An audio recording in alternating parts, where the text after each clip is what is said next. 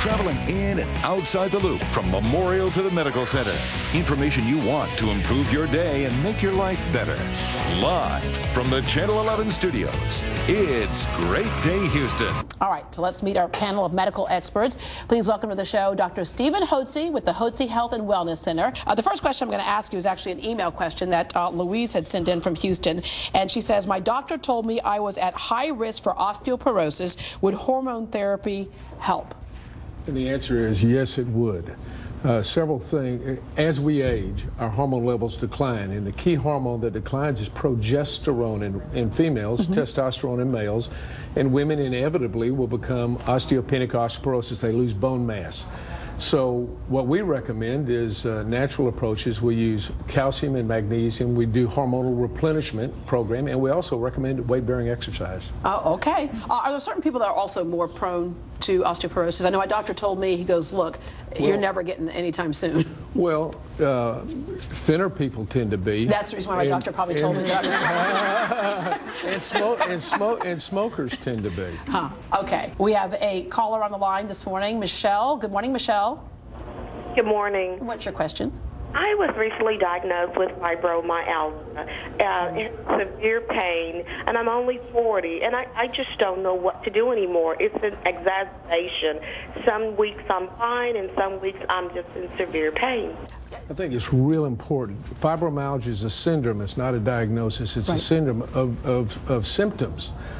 The treatment is thyroid. 99% ah. of the time, it's hypothyroidism that's undiagnosed. Uh, my question was around glutathione, and I've been told that mine was very low and that I needed some help getting it uh, brought up, and um, also about bioidenticals, if that's something that would help. glutathione. help. Let's start with glutathione because that's a mystery to me. Okay, which one of you want to take that one?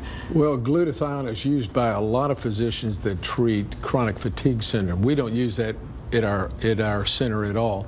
Uh, we use, although we include that in our vitamin protocol. Some people give IV glutathione.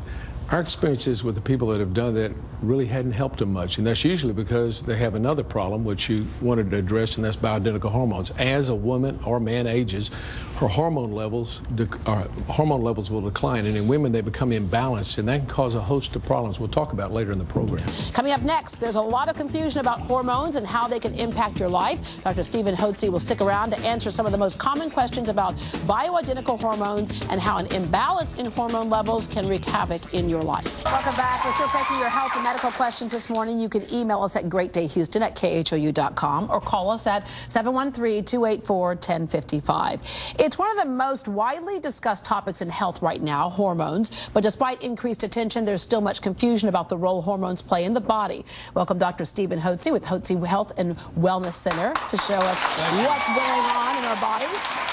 Uh, hormones is such a big deal in our bodies, but it seems like it's been a, not really a lot of attention focused on it like in medical school. Um, a lot of doctors like you are coming out and now saying, look, hormones rule the body. Um, we have a member of our audience who has a question that you say is probably related to hormones. Hi there. Hi, good morning. My name is Gail Jennings, and when I'm sleeping at night, about every 30 minutes, I wake up with just intense heat coming from inside my body, and it's like it wakes me up, and I'm just so uncomfortable. And is that what we call a hot flash? It is. And Gail, what do you think's causing the problem? Well, I think I'm in menopause, and so. Well, that's menopause. Of course, is when a woman's uh, menopause is when a woman ceases menstruating we lead up to that over a five-year period, premenopausal, and women will experience a decline in their estrogen hormone. And when that happens, the body reacts to that and causes hot flashes and night sweats. And that's a very common symptom associated with menopause. It's easily treated by using biologically identical estrogen in combination with progesterone, I might say, they can alleviate those symptoms and problems by replenishing the declining hormonal stores in your body. So just keeping you balanced. Thank you. All right. Thank you, Gail. There was something during the panel that you said earlier that I want to touch more on because I know so many people who are suffering from fibromyalgia. And again, it seems like a mystery to them. They don't know is it a disease? Is it a syndrome? Is it what is it? And you said hypothyroidism. Hi, it's caused by hypothyroidism. I think it's uh, I think it's not correct to make a diagnosis of fibromyalgia because all you're doing is describing a symptom. Fibromyalgia is a Latin term for muscle and joint pain or mm-hmm. fascial pain around the muscles. And the question should be when a doctor diagnoses you, when you go in and say, My joint muscles ache, hurt all over, and he goes, You got fibromyalgia, your question should be, Why do I have fibromyalgia? Right. That's not a diagnosis itself. If you let him stop there, then he'll put you on anti inflammatories, antidepressants, You're a host treating of just other. symptoms. You're treating symptoms.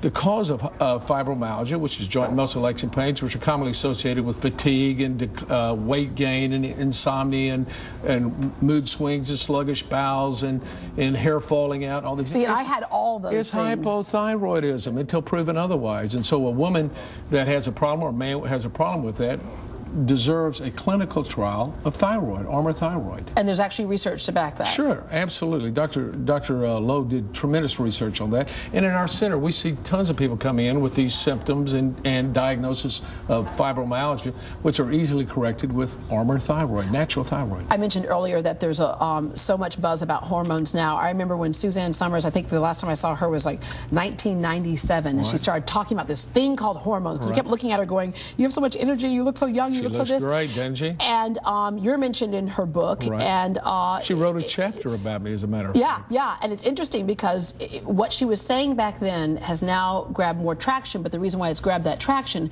is that people are getting relief finally. Well, uh, we, we, and we were going to talk about what's the difference in biologically identical and, and synthetic hormones. And I like to say it like this there's an old saying we have. Uh, things aren't always as they seem. Skim milk is often passed off as cream.